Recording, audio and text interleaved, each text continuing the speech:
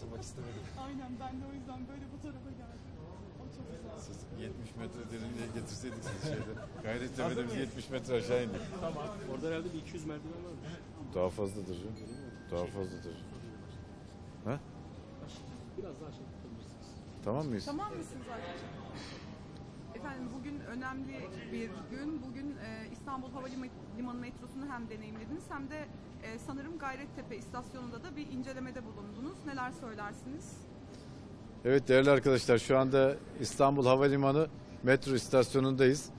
Biz sabahın erken saatlerinde metro kullanarak e, Gayrettepe metro istasyonunda incelemelerde bulunduk. Tabii bu hattımızın devamı olan Kağıthane'den Gayrettepe arası 3,5 kilometre.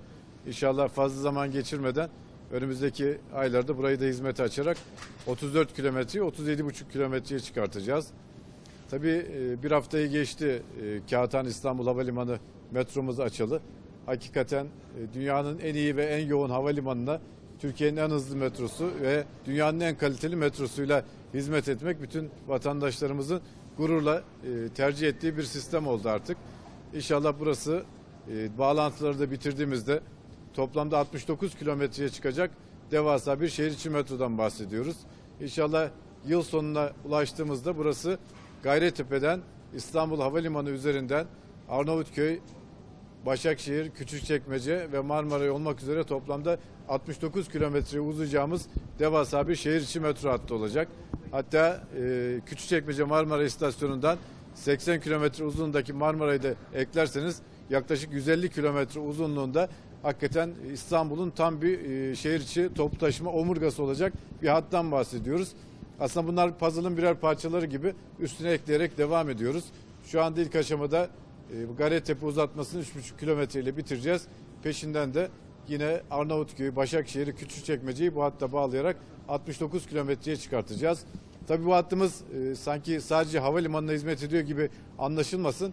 Burası üzerinde yaşayan Beşiktaş, Şişli, Kağıthane, Eyüp, İstanbul Havalimanı devamında Arnavutköy, Başakşehir, Küçükçekmece ve toplamda 7 tane ilçeyi birleştiren bir metro hattından bahsediyoruz. Bu 69 kilometrelik ring tamamlandığında Başakşehir'deki Arnavutköy'deki bir vatandaşımız Beşiktaş, Mecidiyeköy, Şişli, Gayrettepe'ye de metro konforunda ulaşma imkanı sağlayacak. Bu da İstanbul için böyle gelişen, büyüyen, hareketli artan İstanbul için hakikaten çok kıymetli bir iş. İstanbul'u kurtaracak olan bu şekilde bu büyük altyapı yatırımlarıdır değerli arkadaşlar. Bizler de bakanlık olarak İstanbul'un dört tarafını böyle kaliteli, konforlu ulaşım ağlarıyla örmeye devam edeceğiz.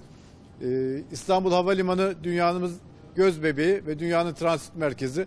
Geçen yıl 65 milyon yolcuya hizmet vermişti. İnşallah bu yıl 70 milyonu da geçeceğiz İstanbul Havalimanı'nda. Aynı şekilde Sabiha Gökçen Havalimanı da e, buna paralel olarak büyüyor. Orası da 30 milyon yolcuyu bulmuştu. E, Önümüzdeki yıl 30 milyonu çok daha geçecek. İkinci pistini bitireceğiz. Yeni terminaller yapacağız.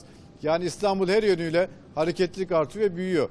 Ve 15 milyon turist İstanbul'u çok çok daha üzerine çıkacak. E, bu altyapı sayesinde bunlar rahatlıkla İstanbul'da hareket etme imkanına sağ- sağlayacak. Tabii İstanbul'da bakanlık olarak e, AK Parti hükümetleri çok büyük yatırımlar yaptı. Yani Kuzey Marmara Otoyolu, Yavuz Sultan Selim Köprüsü, Avrasya Tüneli, Marmaray bunlar İstanbul'un önünü açtı. İstanbul hakikaten dünyanın sayılı kentlerinde ve göz bebeği İstanbul bütün dünyaya bu şekilde hizmet vermeye devam ediyor. Tabii bu yatırımlar İstanbul'un önünü açıyor. Aslında Türkiye'nin de önünü açıyor. İnşallah bunlar artarak devam edecek ve burada kaliteli bir işletme yaparak, kaliteli bir hizmet vererek bu konforu daha da artıracağız.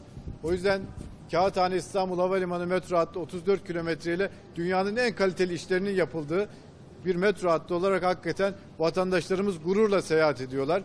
Bütün dünyaya örnek olarak örnek olabilecek bir projeyi bitirdik. Biz ulaşımda engel tanımıyoruz demiştik.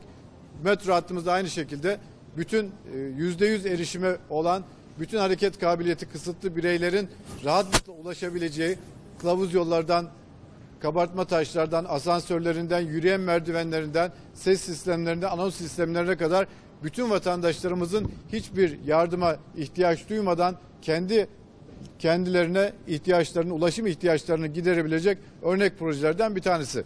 Evet değerli arkadaşlar biz demiryolu yatırımları olarak Türkiye'nin genelinde hakikaten şu anda çok büyük bir atırım var. Şu anda Türkiye genelindeki raylı sistem yatırımlarımızın toplam maliyeti şu anda 27 milyar dolarlık bir yatırımdan bahsediyoruz değerli arkadaşlar.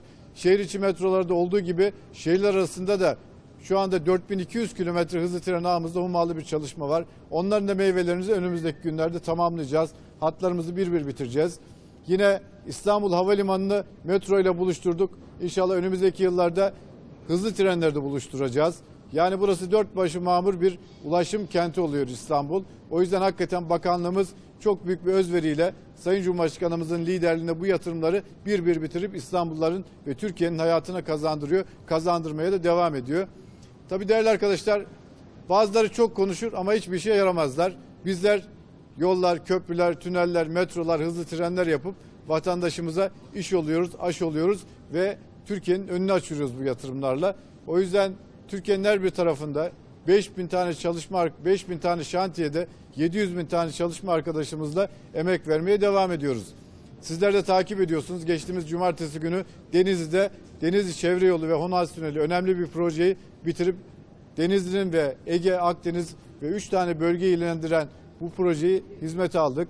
Yine Perşembe günü de Afyon'da olacağız. Afyon'da da bölünmüş yol ağımızı 21 kilometre daha artıracağız. Devam eden pek çok projemiz var. İnşallah önümüzdeki günlerde yine bunları açarak hem ülkemizin önünü açacağız, vatandaşımızın hayatını kolaylaştıracağız bu projelerle. O yüzden durmak yok, yola devam diyoruz. Bugün biz Gayrettepe metro istasyonunu inceledikten sonra yine metro ile Gayrettepe, Mecidiyeköy, Kağıthane yaptık ve İstanbul Havalimanı'na ulaştık. Ee, bu konforu bütün İstanbullular yaşamaya başladı ve yaşamaya devam edecek. İnşallah uzunluklar arttıkça da metro hatlarımız arttıkça da bunlar devam edecek. Önümüzdeki günlerde Kayseri'de yine tramvay açacağız. Ankara'da AKM Kar, Gar Kızılay metrosunu da bitirerek Ankaralıların hizmetine sunacağız. Yine aynı şekilde Bursa'da, Kocaeli'de e, projelerimiz devam ediyor yine şehir içi metro olarak. Yine hızlı trenler olarak da hem İstanbul'u Avrupa'ya bağlayan hattımızda Halkalı Kapıkule hattımız yoğun bir şekilde devam ediyor. Bursa'yı İstanbul, İzmir e, hızlı tren hattına bağlıyoruz. Ankara, İzmir'de hummalı bir çalışma var. Karaman, Ulukışla, Ulukışla, Mersin, Mersin, Adana, Osmaniye, Gaziantep hatlarımız yoğun bir şekilde devam ediyor. İnşallah önümüzdeki günlerde Ankara, Sivas'ta hat açarak önemli bir projeyi de bitirmiş olacağız. O yüzden hakikaten Türkiye'de çok büyük bir canlılık var. Memlekette çok güzel işler oluyor. Nasılsa o bundan 20 yıl önce Türkiye'deki 30 milyon olan hava yolu yolcu sayısı bugün 210 milyona nasıl çıkmışsa bu konforu vatandaşımız nasıl beğenip nasıl hava yolunu halkın yolu yapmışsak aynı şekilde bütün sektörlerde de dünyanın en kaliteli işlerini yapmaya devam edeceğiz. Tabii bunlarda en büyük kazancımızdan bir tanesi de bu kazandığımız bilgi, beceri ve tecrübeyle Türkiye'nin mühendislik alanındaki ve müteahhitlik alanındaki bu yapım işlerindeki bu büyük bilgi becerisi artık dünyaya ihraç edilmeye başladı. O da bizim en büyük kazançlarımızdan bir tanesi. Yine bu da artarak devam edecek. O yüzden hakikaten bizi hem bu kadar güzel işlerin önünde önümüzdeki günlerde de çok daha güzel işler bizleri bekliyor. Bize bugün eşlik ettiğiniz için hepinize ayrıca çok teşekkür ediyorum. Sağ olun, var olun. Görüşmek üzere. Çok teşekkür ederiz ağzınıza